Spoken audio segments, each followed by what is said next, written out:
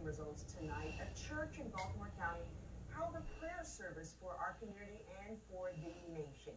Trinity Episcopal Church of Towson came together to support members and neighbors. It was a place where race, income, and party affiliation did not matter. Church leaders say they hope to help people overcome some of the feelings of worry and anxiety.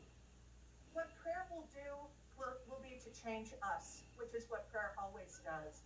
It's not so much to change other things that you want to change, but instead to change yourself so that you're prepared to do the work that is necessary to transform the world.